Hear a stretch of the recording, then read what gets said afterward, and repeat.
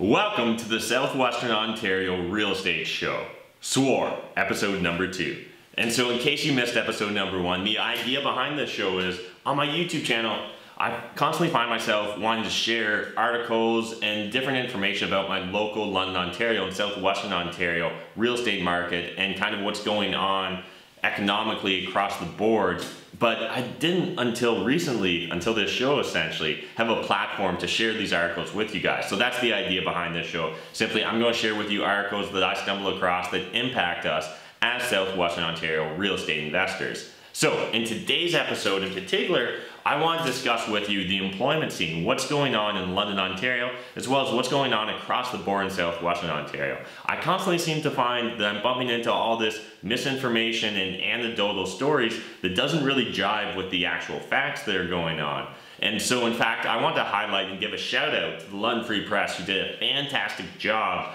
on an article that we're going to be discussing today. And that was a long form article. And specifically, this long form London Free Press article was Lots of jobs, no workers across southwestern Ontario.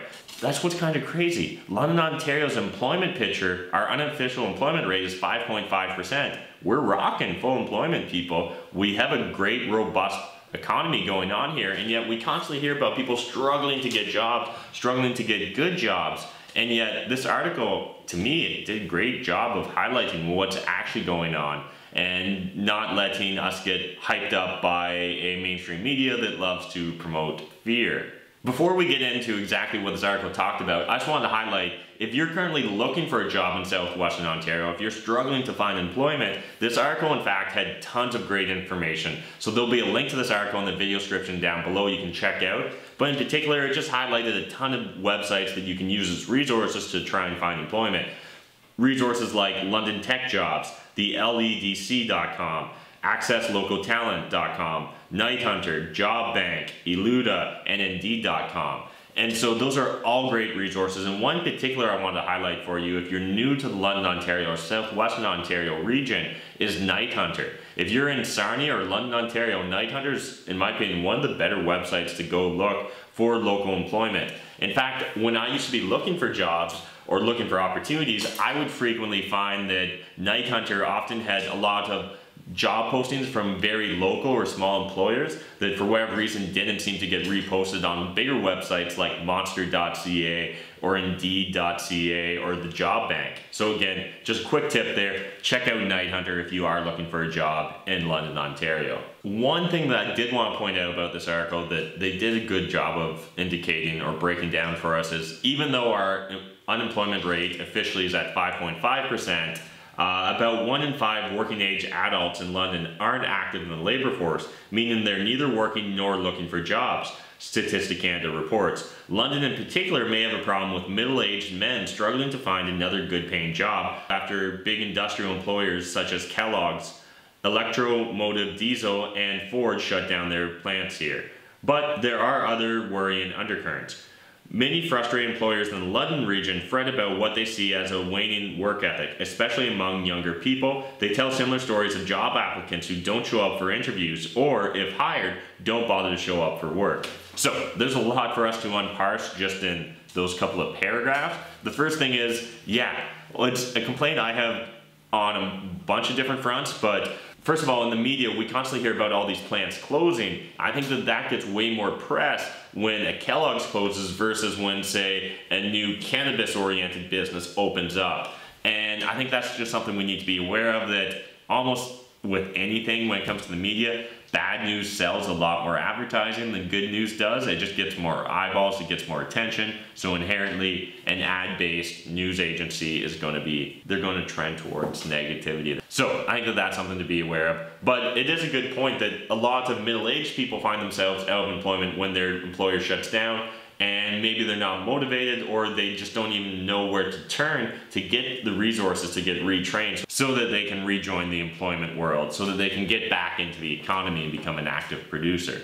As well, there is a section in this article that talks about millennials and employers' frustrations with millennials. Uh, I'm inherently a little bit suspect of these articles that are constantly talking about millennials and their lack of work ethic. I just haven't seen enough real hard data to back it up. I've definitely heard the anecdotal stories, but that being said, without really a baseline to compare it to, it's hard for me to really trust and a lot of the information about how millennials aren't motivated. Because when we host our meetups here in London, Ontario, at say the real meetups or the London Fire meetups, I'm constantly surrounded by dozens and dozens of hardworking, motivated, driven, smart individuals. There's definitely hardworking, driven millennials out there, and I'm not even convinced that it's an overarching issue generationally speaking. I think it's more of a societal shift, and I don't think it's only a societal shift among the younger generation. I think it's very broad.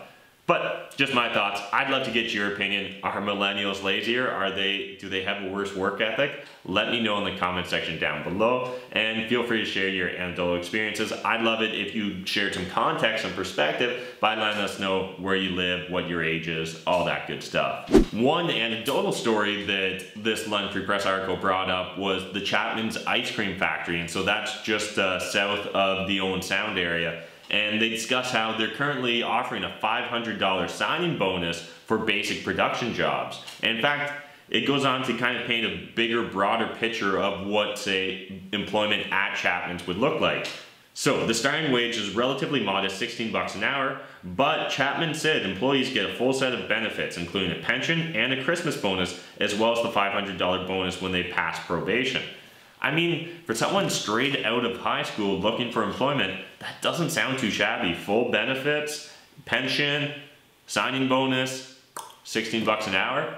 To me, that seems like you could make a living wage off of that. You could survive, and ideally, it would give you the platform, the base for you to continue to progress throughout the economy and upgrade your skill set or upgrade your employment if that was something you were interested in doing. However, one thing that did blow my mind about this article was a quote from Chapman. So, still Chapman said the unemployment rate is low and applicants can be choosy. He said it's not uncommon to schedule job interviews for 20 applicants and have only five show up. That is crazy. If, if you're booking interviews for 20 people and only five show up, that either tells me that like this is an extremely hot economy where employees can be so choosy, job seekers can be so choosy, they don't even have to show up for interviews because they're getting job offers left, right, and center. Or maybe it does hint at some sort of uh, issue with uh, the people that are applying, some sort of quality issue. Again, maybe though that means that all the quality employees are hired, that they are working at full employment, and so it's just those that otherwise wouldn't even be part of the economy are joining it, and that's why we see this. I don't know, it's, it's really interesting to me. I'm shocked by hearing those numbers. Are you currently looking to hire in Southwestern Ontario, and are you experiencing similar issues where you're scheduling interviews and people aren't showing up, or you're hiring them and they don't show up, or they don't show up after a day or two? I'd love to hear what you're actually experiencing, so let me know in that comment section down below. The article also does a great job of not just focusing on manufacturing or plant jobs, but also discusses what's going on with construction, restaurants, the full gamut. Yeah, it definitely, it sounds like there's a lot of employers out there that would love to get more employees and they are struggling to find it. And the article does touch upon this as well. One of the issues with that is that can actually slow down an economy if, if jobs go unfilled for a lack of qualified applicants. It can really slow down what could be an otherwise robust growing economy. So it is something we should be aware of. However, talking as landlords, overall, it paints a pretty rosy picture. It paints a picture of full employment. It paints a picture where your tenants should be able to make ends meet. They should be able to pay you rent every month because it seems like our economy is firing if not on all cylinders, nearly on all cylinders at this point. One more thing I want to highlight for you guys on this article before we move on was the comment section. And now the comment section on the London Free Press article, at best, it can be a bit of a swamp. There was actually some quality comments on this. Uh, there was the usual complaining. So the one comment in particular I wanted to highlight for you guys was from Robert Schwantz. So starting at $16 per hour, so 40 hours at 52 hours a week equals 32, 33,000 minus a bunch of these expenses, blah, blah, blah. Essentially, he lays things out that there's no way you could live off of $16 an hour. Now, can you live the high life off of $16 an hour? No, you, you, definitely can't live the high life. But can you make ends meet? Can you survive off of $16 an hour? Absolutely. And so I want to give a shout out to Grant Smith, who actually broke down the numbers in real terms to lay out that yes, you could in fact survive off of $33,000. So, first things first, at $33,000, you're actually going to net about just over 26,000. He then goes on to itemize all the expenses that one person would expect to incur if they were, say, living at this level and kind of starting out. Then he goes on to show that essentially you're looking at a net surplus for the year of almost $3,000. So essentially what that means is you're able to save 10% of your net pay, you're able to save almost 10% of your gross pay. So as someone just starting out from high school, that seems like a pretty solid position. That seems like an actual great foundation to build a life upon if you only have that high school education. So again, it doesn't seem that bleak to me. In fact, this article pointed out that in Simcoe, there's a ton of jobs going unfilled at the 18 to $22 an hour range. And again, the difference between 16 and $22 an hour is drastic. So if you could get that $22 an hour job out of high school, I mean, I think that you'd be in a great position to start building your financial foundation. But again, that's just my opinion. I want this to become a two-way conversation, so jump in that comment section down below. Let me know your thoughts. Let me know your thoughts on the London, Ontario employment scene. Let me know your thoughts on what's going on just in general in regards to Southwestern Ontario's employment scene as well. How, how's this impacting us as landlords? And the big question is, are millennials lazy? What are your thoughts? Let me know in the comment section down below. I'd love to get your perspective. I'd love to hear what you're thinking. Two more quick articles I want to discuss with you from the London Free Press that also impact what's going on in the employment scene here in Southwestern Ontario. The first one is about Diamond Aircraft. And if you're not familiar, Diamond Aircraft is kind of a darling of London, Ontario manufacturing scene. They manufacture planes. A lot of their planes get used for pilot training. And this article on Diamond highlights what's going on with employment in the pilot field. And it looks like we have a giant need of pilots. In fact, Diamond Aircraft is having some of their record years. They're going to produce 75 planes this year, expected to produce 150 planes next year. That's doubling their production. They currently employ like 270 employees and are still looking to fill more they just actually signed their biggest agreement to date for orders, and it was an order for 110 planes from a pilot training school out of Indiana.